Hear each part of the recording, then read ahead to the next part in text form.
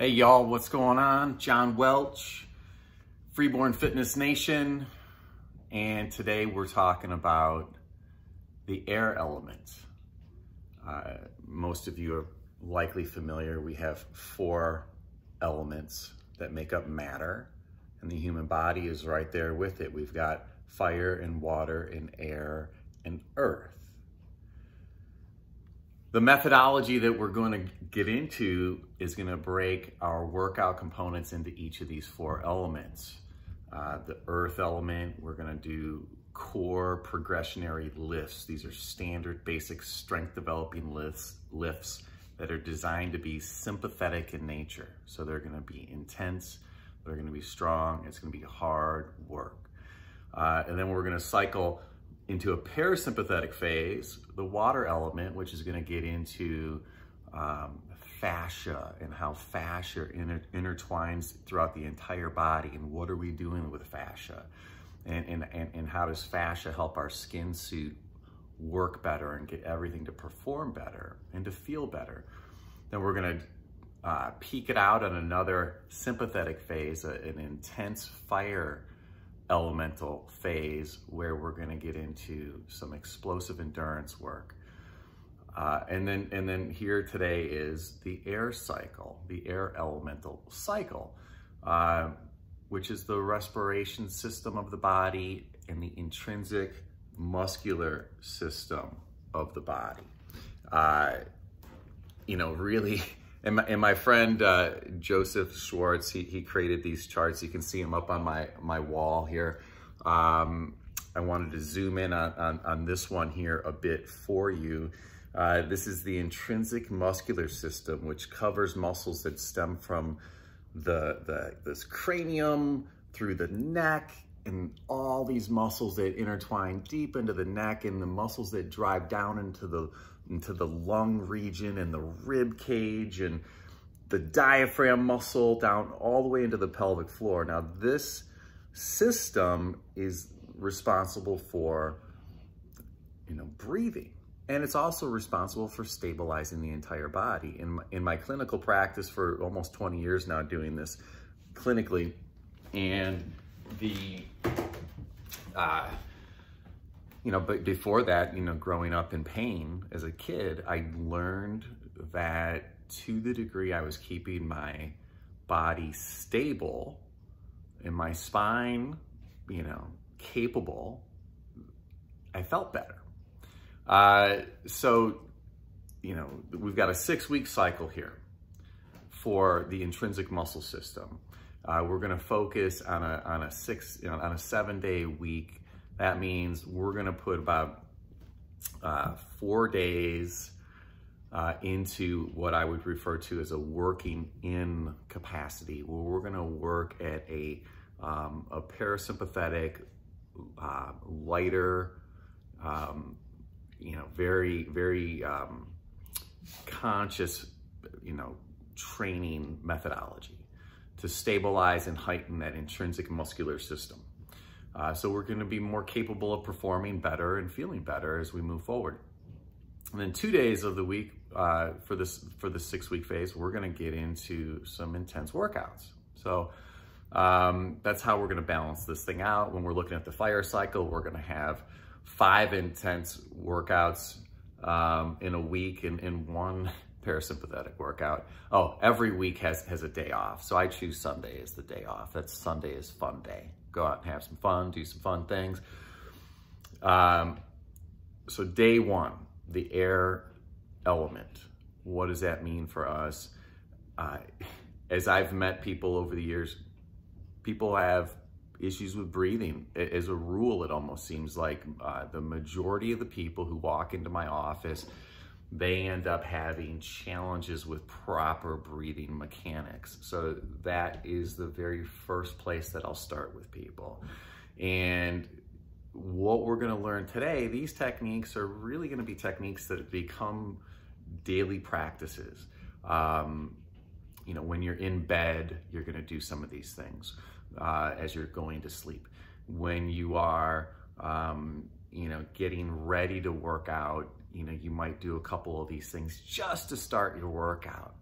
Uh, you're going to notice these things and observe these things in yourself all day long because you breathe 24,000 times a day, roughly. You're going to inhale and exhale, and we need the respiration system to be working properly. And, uh, you know, and there's some, some you know, interesting exercises that we can do, uh, you know, even, even, uh, you know, a number of tongue exercises because, because the tongue has eight muscles, four extrinsic, four intrinsic, and, and these muscles are all part of it. Literally all of these muscles through the face and the cranium and then in through the neck and the scalenes and all these intercostal muscles in the rib cage. We need to be on top of these things. And uh, I'm going to go over a, a, a couple of the primary things right now. So let's do this thing. The first thing we want to do is work on our totem pole capacity.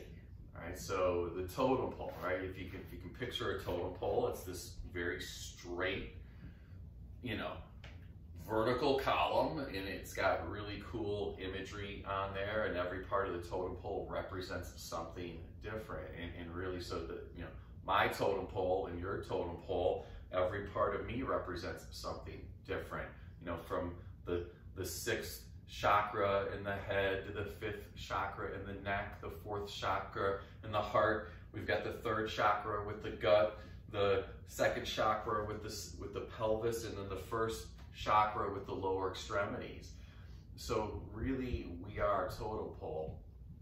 And one of the things that we want to be able to accomplish here is we want to get our spine to begin to integrate with our pelvis, right? So, uh, so really from the shoulder complex down into the pelvic structure. And, and, and, and the spine is the thing, right? This is the thing that we're, we need to be on top of right away. Where's my range of motion? I can even feel right now, I, I just I just started with a new pillow. It's not quite working as well as my last pillow. Uh, I've got some kinks in my right rib cage back in here. Um, so this is the progression. Let's do this thing.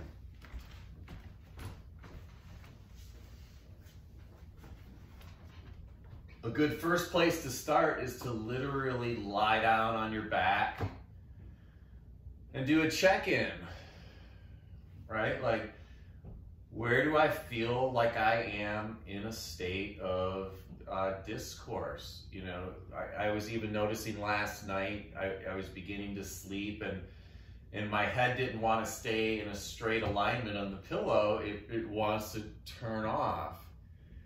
And in part, I know this of myself because I can hear out of this ear well, but I cannot hear out of my left ear very well. So I get into a habit of rotating my head to cover this ear, right? And so it gets quiet. But that's gonna start to mess up my totem pole. It's gonna start to mess up this intrinsic system. So I'm gonna lie down flat on my back. I'm gonna do a little check-in. I'm gonna figure out where am I at. You know, do do my feet want to roll out? I'm feeling like this is pretty good. My my feet are trying to roll out a bit. Um, I imagine by the time we're done, I'm gonna find that my feet are gonna be more squared up uh, because I just know this of myself. Um, and as I relax a little bit more, I can feel this right foot is dropping out even a little bit more as I allow myself to relax. Um, feel like my ribs are into the floor pretty decently well. Gonna do a little breathing here, do a check-in on the breathing. It's pretty good, but I think it's gonna get better. So first exercise right here, here we go. I'm gonna bend the knees, put the feet on the floor and take my hands, come to the top of my head, and I'm going to tuck my chin while I pull my head this way. Right? See that? I gave myself a little chin tuck. What that chin tuck is going to do is it's going to help me to decompress my cervical spine and add some length. When I did that little chin tuck, I could also tell that I postured up just a little bit through my lower back. And, you know, as you practice these things, you'll notice more and more self-observations as you're going. But so now what I'm gonna do is I'm gonna grab the head with the hands. I'm going to put the tongue to the roof of my mouth. So swallow. Notice how your tongue goes to the roof of your mouth. That's where we want the tongue right now. So I'm gonna swallow, tongue to the roof of the mouth. I'm gonna tuck my chin and I'm gonna move my body this way, right? So it's gonna look like this. So kind of get a gauge. Where's my head now? All right, I'm right near the edge of this, this uh, yoga mat. So let's see what happens. I'm gonna move this way. And then tuck the chin. And I'm really looking to get my head as far that way. Now I'm gonna, you know, keep this anchored and I'm gonna like really wiggle my hips a little bit and I'm trying to reach my hips as far that way as possible and place it on the floor. Now I am not going to eliminate my low back curve. And, and actually what I'm looking for is a curve at the neck that matches the curve at the, at the, at the low back at the belly button. Okay, so the middle of the neck in the middle of the lumbar spine, which is where the belly button is at. And, you know, I can even slide my hand under there and find that I'm probably going to have about the same width of my hand, right, up to about the knuckles. That's how far I want the spine off. So again, I'm going to repeat that, right? I'm to grab the head, slide this way, and what I'm going to observe, right, I'm to wiggle the hips, reach that way, plant the pelvis. When I slide this way, the skin on my upper back gets pulled down my back. This is what we do not want. Right? I see people do this. They go to make the move, they go this way, and then they sort of walk their shoulders, and no walking the shoulders. That is not the deal. The deal is this. I'm gonna slide, and the skin under my upper back is gonna get pulled down my back. Boom. Skin has gotten pulled, right? It can't go any farther. I'm not walking my shoulders, tucking my chin, kind of reaching the hips that way, and I'm gonna plant the hips.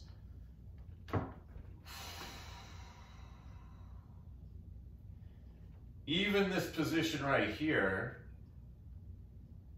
is giving my intrinsic muscular system activation. This alone is going to start to become effective in activating that, that muscular system. I'm going to take a couple breaths in here. For the sake of the video, I'm going to breathe through my mouth a little bit and I'm gonna breathe through my nose a little bit. Uh, if, I, if I'm not making a video, I'm likely strictly breathing through my nose. And the mechanic of a breath is, is key in what we're gonna cover next in the progression. So as I take my inhale, let me take an inhale right here.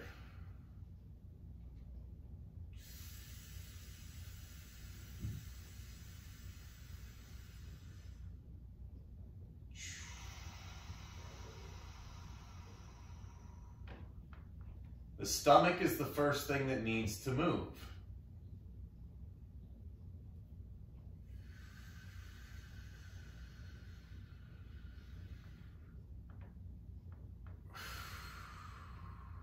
The chest will finish it. Okay, so we have the chest rising at the end. So the, the start of the inhale the stomach is expanding out. I can even feel I've got a couple, I've got goosebumps going on from just taking a couple breaths and activating that chain because when I activate that chain, I'm opening up literally all the blood flow to the head. The vagus nerve opens up. I mean, it's pretty, it's pretty amazing what these little tiny micro movements can do. And uh, so, okay, so when we breathe, we've got um, the diaphragm expanding at the beginning. Most people's diaphragms are not super duper involved. Uh, you know, because if I'm, if I am in a state uh, of, of, let's say, fight or flight, and a lot of people are sort of working and, and, and, and, you know, leading their lives in a state of fight or flight. There's a lot of stress involved in life, and there's a lot to do. There's a lot of expectations in life. So people will commonly have this um, the stress. I have stress too. We all do. But when when we get into fight or flight, what happens is it gets the it, we tend to get into this like big chesty breath, like we're up we're up here. You know, people are breathing. I gotta almost force myself to do it. Right? They're sort of they start, they get into this like as soon as they inhale, their chest is lifting. So if you look in the mirror and if the first thing you see as you begin an inhale is if you see your chest lifting up, that's a faulty breathing pattern. That is number one. That is number one. That has to be number one when it comes to exercise. If, if you are going into other progressionary exercise patterns with a faulty mechanic in your in your in your breathing pattern, you know, pattern and you know in your intrinsic muscular system, is going to be offline. It's just, you know, the cranial muscles, the neck muscles, the rib cage muscles, the diaphragm of the, of, of the thoracic spine, the diaphragm of the pelvis, the pelvic floor muscles, the, you know, the transversus abdominis, the multifidus muscles that, that, that, you know, go up and down your spine, they're not going to be online. They're not going to work right. They're going to be short in, in their, in their, you know, responsibilities. So what we want to see as we begin an inhale, if you watch my shoulder line,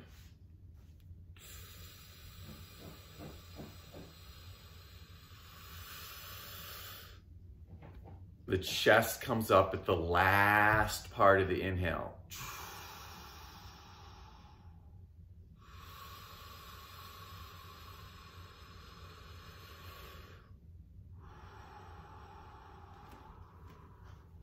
Do these with me. Come on now.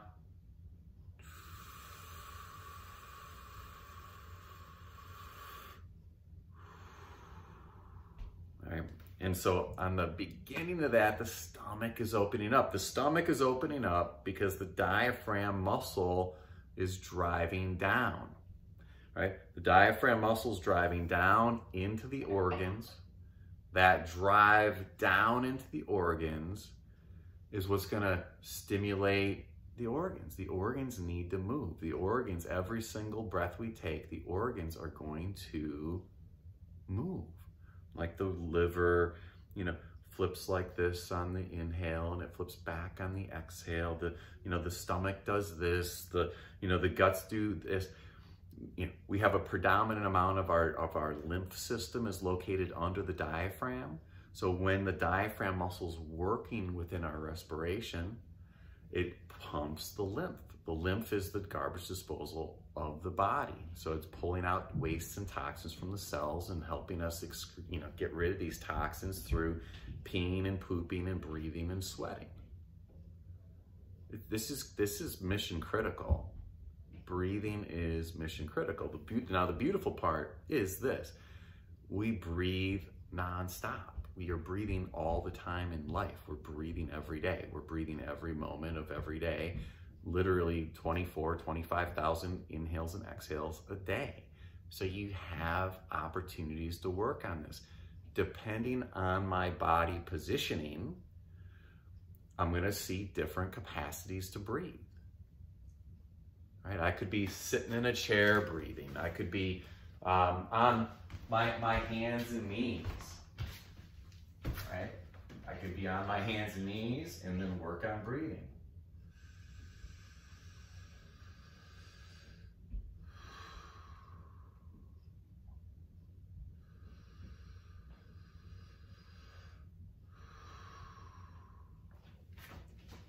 Flat on my back, on my stomach, on my side. Now on my side is one of my favorite ways to breathe.